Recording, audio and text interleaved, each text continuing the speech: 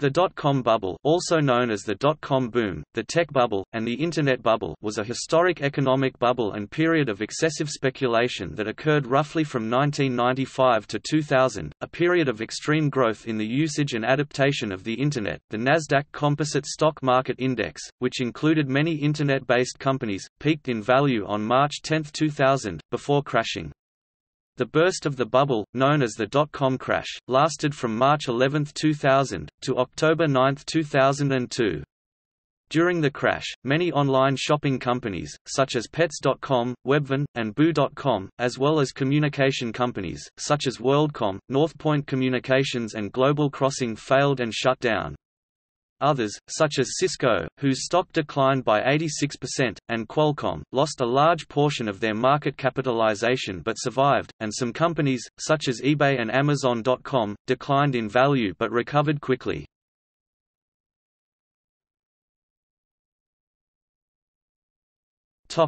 Prelude to the bubble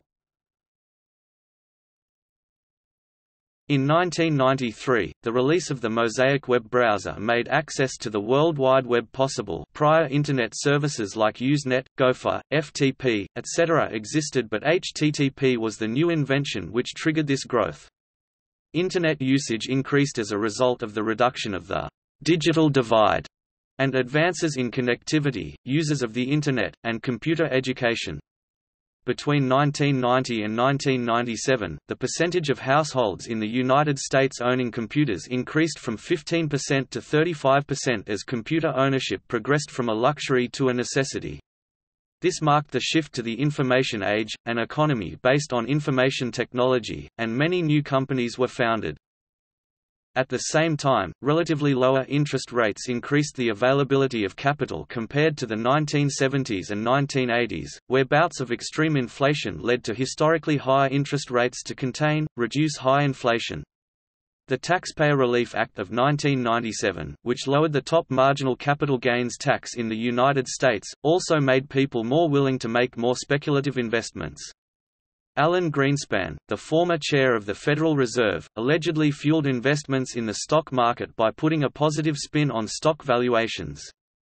The Telecommunications Act of 1996 was expected to result in many new technologies from which many people wanted to profit.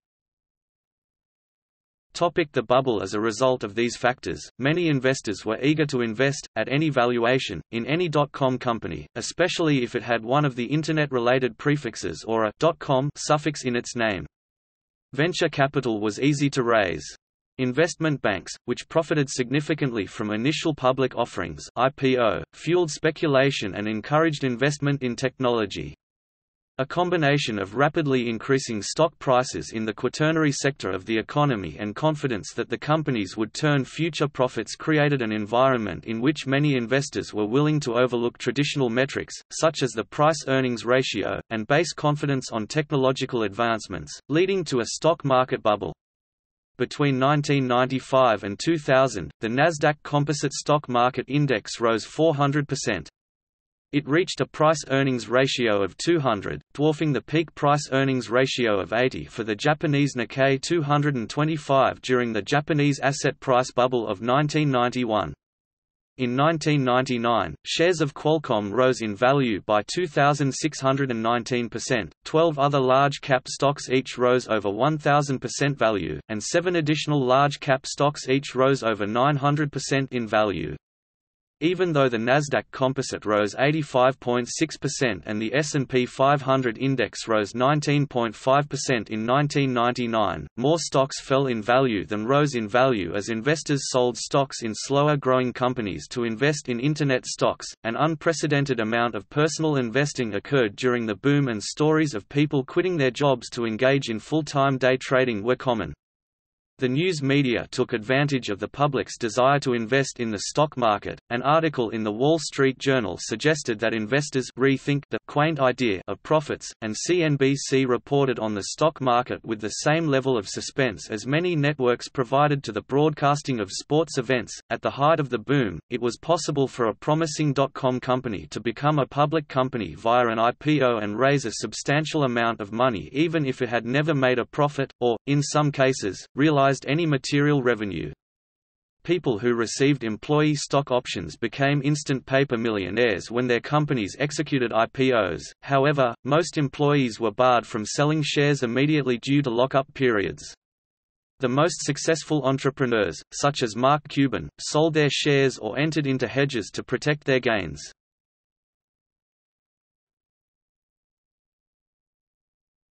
Topic: Spending tendencies of dot-com companies. Most dot-com companies incurred net operating losses as they spent heavily on advertising and promotions to harness network effects to build market share or mind share as fast as possible, using the mottos, "Get big fast" and "Get large or get lost." These companies offered their services or products for free or at a discount with the expectation that they could build enough brand awareness to charge profitable rates for their services in the future.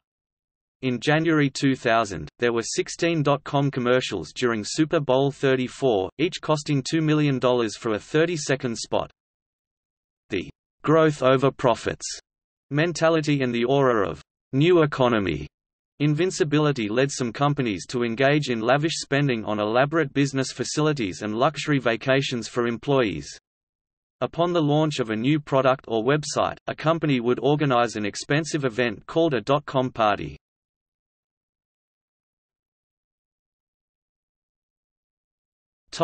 Bubble in telecom Telecommunications equipment providers, convinced that the future economy would require ubiquitous broadband access, went deeply into debt to improve their networks with high-speed equipment and fiber optic cables. In many areas, such as the Dulles Technology Corridor in Virginia, governments funded technology infrastructure and created favorable business and tax law to encourage companies to expand. In Europe, mobile phone companies overspent on 3G licenses, which led them deep into debt. The investments in infrastructure were far out of proportion to cash flow. These were major factors that led to the telecoms crash.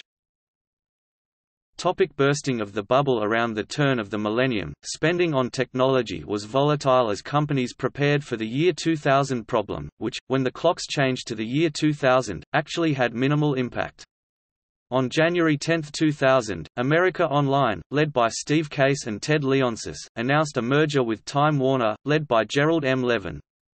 The merger was the largest to date and was questioned by many analysts. In February 2000, with the year 2000 problem no longer a worry, Alan Greenspan announced plans to aggressively raise interest rates, which led to significant stock market volatility as analysts disagreed as to whether or not technology companies would be affected by higher borrowing costs.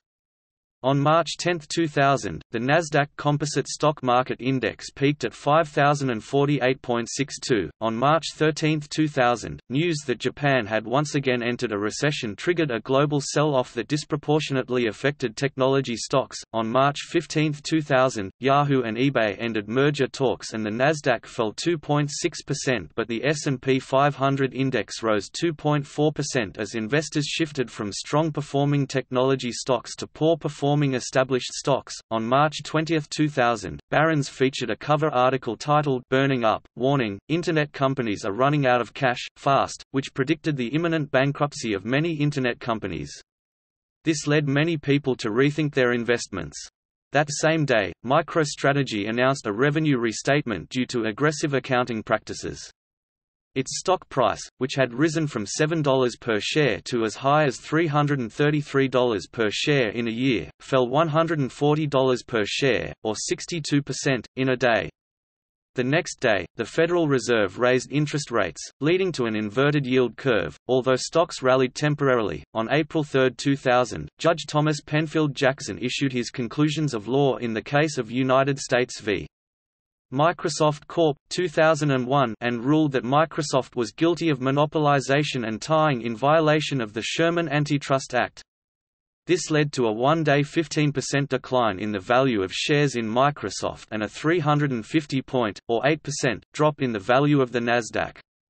Many people saw the legal actions as bad for technology in general. That same day, Bloomberg published a widely read article that stated, It's time, at last, to pay attention to the numbers. On Friday, April 14, 2000, the Nasdaq Composite Index fell 9%, ending a week in which it fell 25%. Investors were forced to sell stocks ahead of tax day, the due date to pay taxes on gains realized in the previous year. By June 2000, dot-com companies were forced to rethink their advertising campaigns. On November 9, 2000, Pets.com, a much hyped company that had backing from Amazon.com, went out of business only nine months after completing its IPO. By that time, most Internet stocks had declined in value by 75% from their highs, wiping out $1.755 trillion in value. In January 2001, just three dot-com companies bought advertising spots during Super Bowl 35, E-Trade, Monster.com, and Yahoo HotJobs. The September 11 attacks accelerated the stock market drop later that year. Investor confidence was further eroded by several accounting scandals and the resulting bankruptcies, including the Enron scandal in October 2001, the WorldCom scandal in June 2002, and the Adelphia Communications Corporation scandal in July 2002. By the end of the stock market downturn of 2002, stocks had lost $5 trillion in market capitalization since the peak. At its trough on October 9, 2002, the Nasdaq 100 had dropped to 1,114, down 78% from its peak.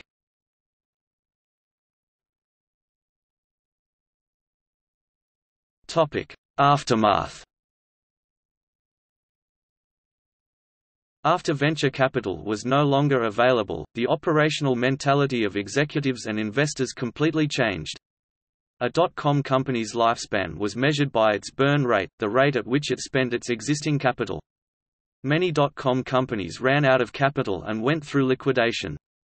Supporting industries, such as advertising and shipping, scaled back their operations as demand for services fell. However, many companies were able to endure the crash. 48% of dot-com companies survived through 2004, albeit at lower valuations. Several companies and their executives were accused or convicted of fraud for misusing shareholders' money, and the U.S. Securities and Exchange Commission levied large fines against investment firms including Citigroup and Merrill Lynch for misleading investors. After suffering losses, retail investors transitioned their investment portfolios to more cautious positions. Popular Internet forums that focused on high-tech stocks, such as Silicon Investor, RagingBull.com, Yahoo Finance, and The Motley Fool declined in use significantly.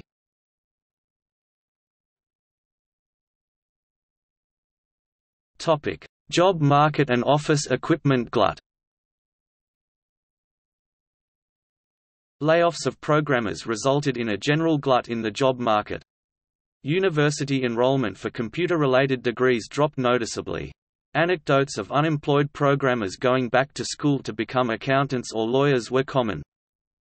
Failed startups liquidated all of their computer equipment and office equipment such as Herman Miller Aeron chairs.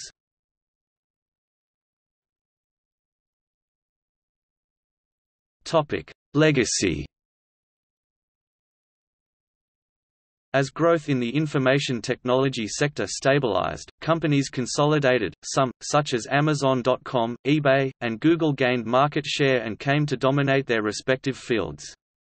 The information technology industry came to more closely resemble other sectors of the economy, albeit with still a faster growth rate and higher valuations than other sectors. There are now many information technology companies ranked at the top of the Fortune 500.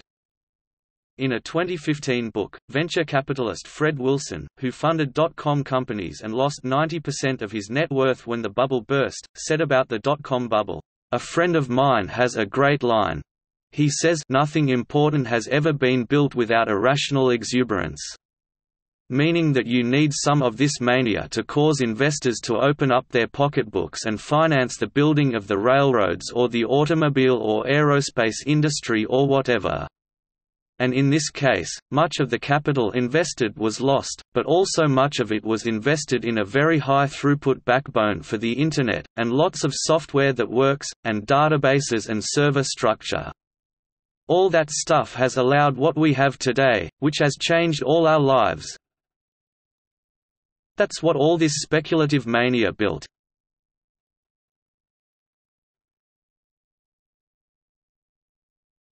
Topic Notable companies. 3Com – shares soared after announcing the corporate spin-off of Palm Inc. 360 Networks, a fiber optic company that had a market capitalization of over $13 billion but filed bankruptcy a few months later. AboveNet, its stock rose 32% on the day it announced a stock split.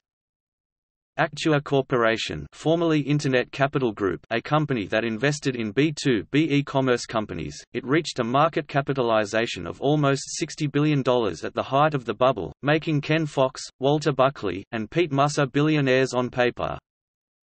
Airspan Networks, a wireless firm, in July 2000, its stock price doubled on its first day of trading as investors focused on telecommunications companies instead of dot-com companies.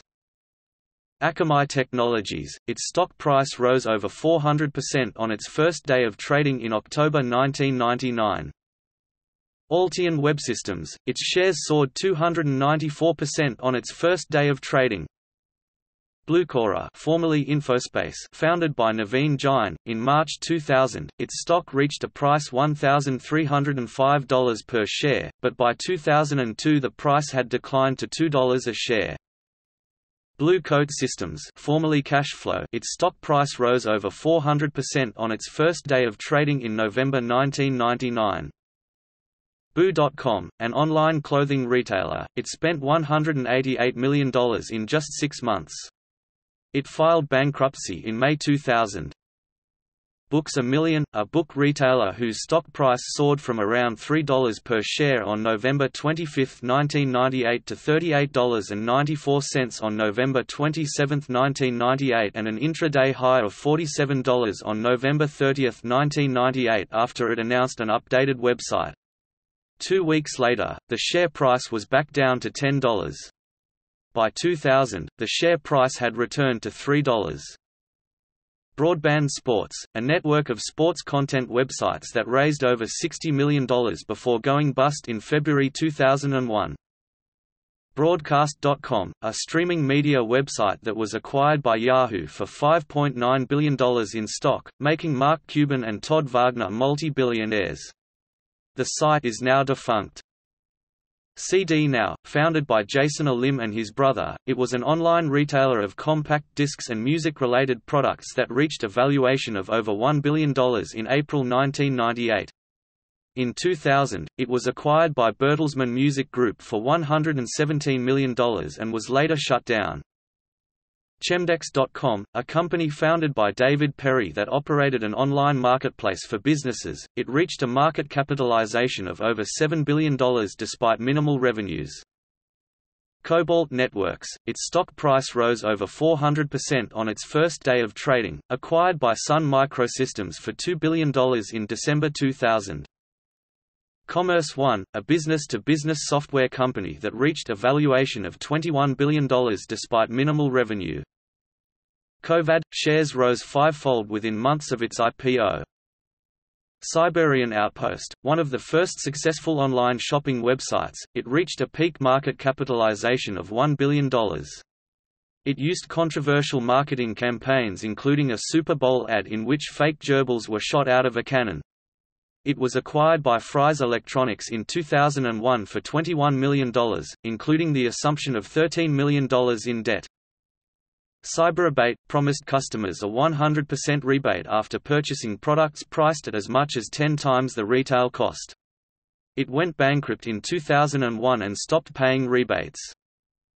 Digital Insight, its shares soared 114% on its first day of trading. Divine, founded by Andrew Filipowski, it was modeled after CMGI. It went public as the bubble burst and filed bankruptcy after executives were accused of looting a subsidiary. DoubleClick, an online advertising company that soared after its IPO, it was acquired by Google in 2007. eGain, its stock price doubled shortly after its 1999 IPO, Etoys.com, an online toy retailer whose stock price hit a high of $84.35 per share in October 1999. In February 2001, it filed bankruptcy with $247 million in debt. It was acquired by KB Toys, which later also filed bankruptcy. Excite, a web portal founded by Joe Kraus and others that merged with Internet Service Provider at Home Network in 1999 to become Excite at Home, promising to be the AOL of broadband. After trying unsuccessfully to sell the Excite portal during a sharp downturn in online advertising, the company filed bankruptcy in September 2001. It was acquired by Ask.com in March 2004. Flooz.com, a digital currency founded by Robert Levitan, it folded in 2001 due to lack of consumer acceptance. It was famous for having Whoopi Goldberg as its spokesperson. Free, filed bankruptcy in October 2000, soon after cancelling its IPO. At the time, it was the fifth largest Internet service provider in the United States, with 3.2 million users.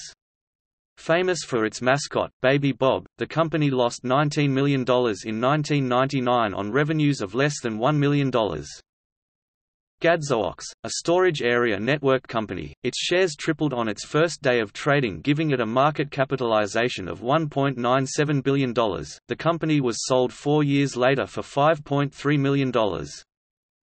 GeekNet formerly VA Linux a provider of built-to-order Intel personal computer systems based on Linux and other open-source projects, it set the record for largest first-day price gain upon its IPO on December 9, 1999. After the stock priced at $30 per share, it ended the first day of trading at $239.25 per share, a 698% gain, making founder Larry Augustin a billionaire on paper. GeoCities, founded by David Bohnett, it was acquired by Yahoo for $3.57 billion in January 1999 and was shut down in 2009.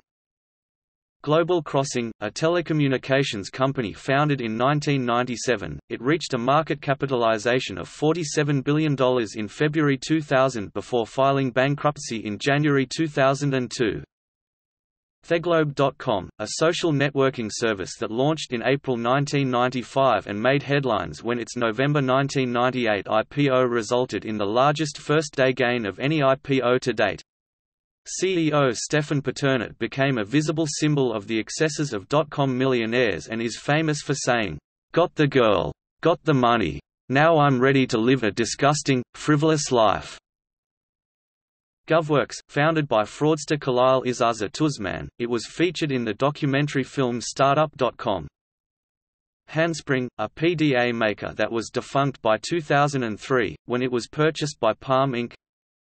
Healtheon, founded by James H. Clark, it was acquired by WebMD in 1999 for $7.2 billion in stock but eventually shut down. HomeGrocer, a public online grocer that merged with Webvan. Infoseek, founded by Steve Kirsch, it was acquired by Disney in 1999, it was valued at $7 billion but eventually shut down.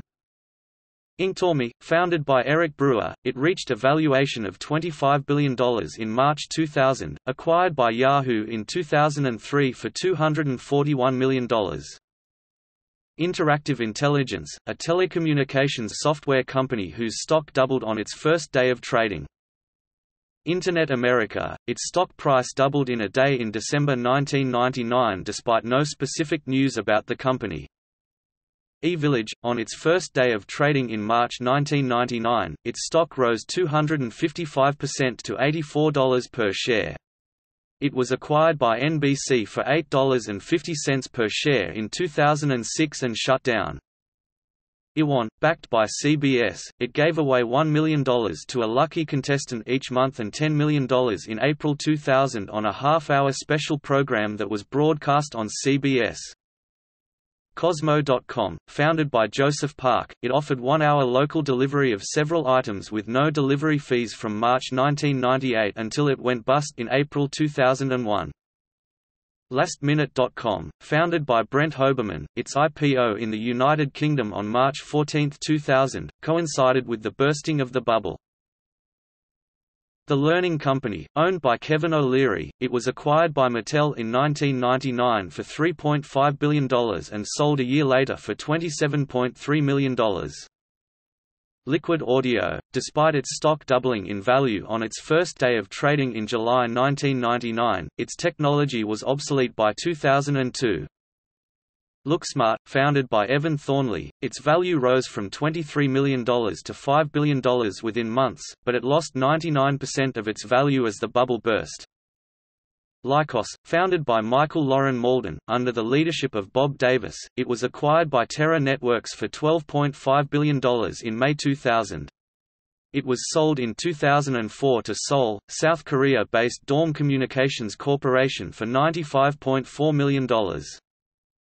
March 1, a web development company formed on March 1, 2000, by the merger of US Web and CKS Group, it filed bankruptcy and liquidation just over a year after it was formed. MicroStrategy, after rising from $7 to as high as $333 in a year, its shares lost $140, or 62%, on March 20, 2000, following the announcement of a financial restatement for the previous two years by founder Michael J. Saylor. Net2 Phone, a VoIP provider founded by Howard Jonas whose stock price soared after its 1999 IPO. Netbank, a direct bank, its stock price per share fluctuated between $3.50 and $83 in 1999. Netscape, after a popular IPO, it was acquired by AOL in 1999 for $4.2 billion in stock.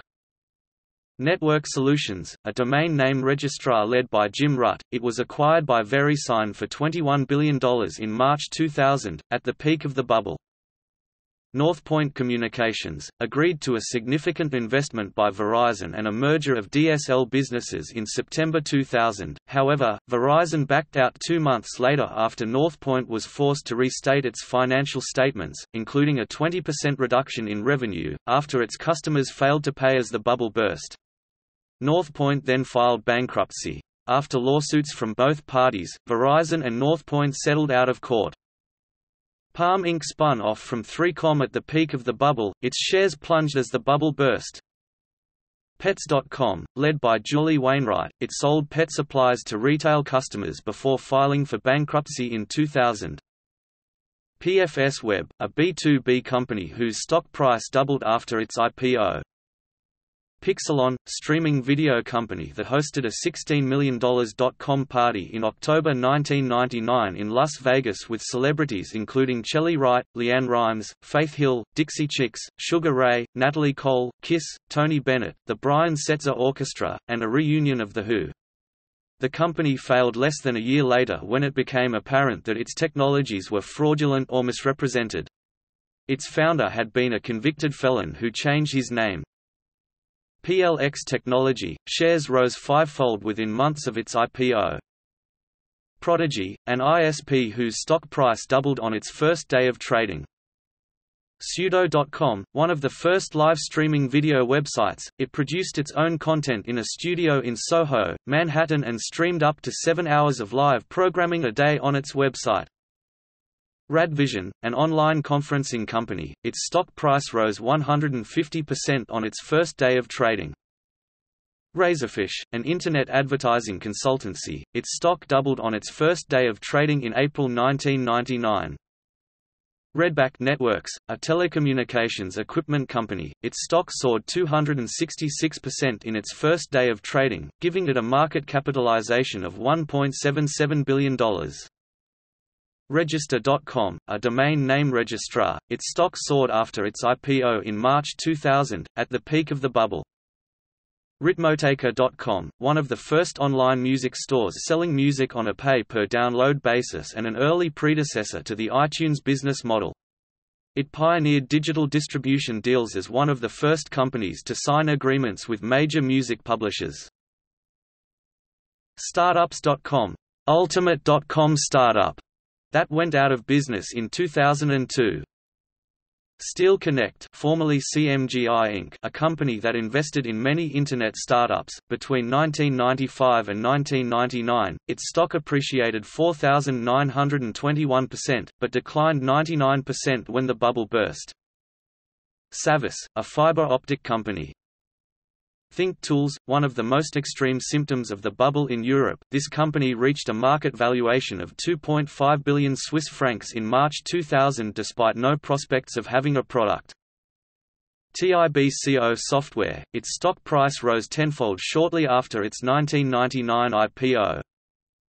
Tradex Technologies, a B2B e-commerce company, it was sold for $5.6 billion at the height of the bubble, making Daniel Agurta a billionaire on paper.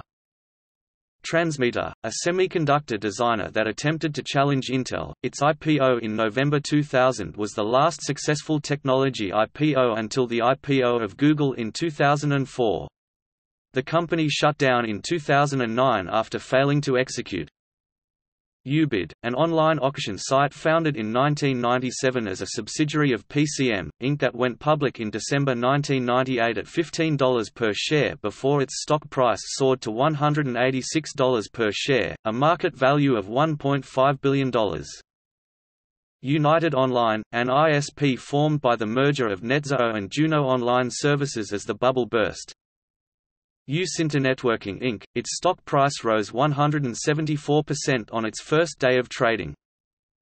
UUNet, one of the largest Internet service providers, its stock price soared after its 1995 IPO, it was acquired in 1996.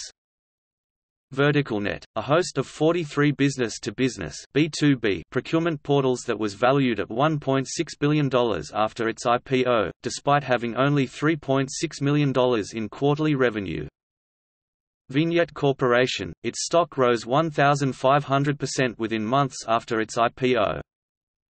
Webvan, an online grocer that promised delivery within 30 minutes, it went bankrupt in 2001 after $396 million of venture capital funding and an IPO that raised $375 million and was folded into Amazon.com.